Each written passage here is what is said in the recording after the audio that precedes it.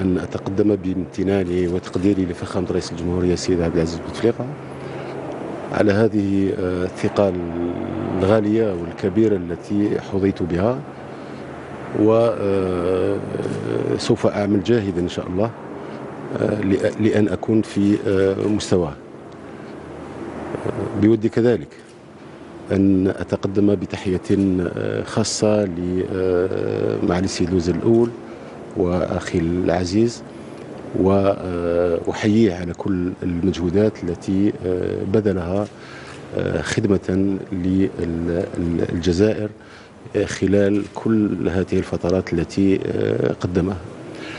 هي مناسبة كذلك والجزائر تعيش هذه هذه المرحلة الخاصة في تاريخها والجزائر والجزائريين ينتظرون تجسيد كل هذه الطموحات التي عبروا عبروا عليها خلال الأيام والأسابيع الماضية والتي توجت بخارطة الطريق التي وضعت والخاصة بهذه الإصلاحات العميقة والكبيرة التي سوف تعرفها هذه الجزائر الجديدة التي يطمح إليها كل جزائري وجزائرية بكل فئاته وخاصة شبابنا.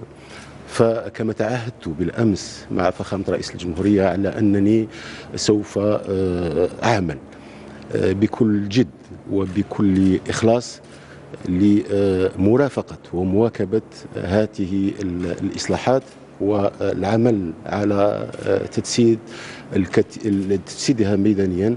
أتعهد أمام شعبنا وأمام مواطنينا ومواطناتنا على أن نكون ليل نهار في الاستماع إليهم في خدمتهم في التقرب منهم في جواريتهم خاصة من خلال هذه النداءات.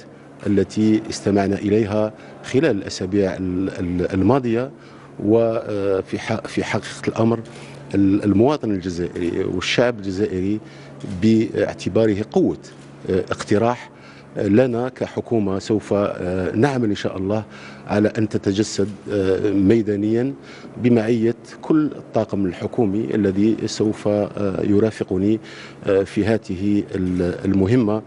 الصعبة وهذه المسؤولية التي أعتبرها تكليفا كبيرا. الرب سبحانه وتعالى يقدرنا على هذه المسؤولية وعلى أن نكون في مستوى هذه الثقة وفي مستوى طموحات شعبنا مواطنينا ومواطنتنا.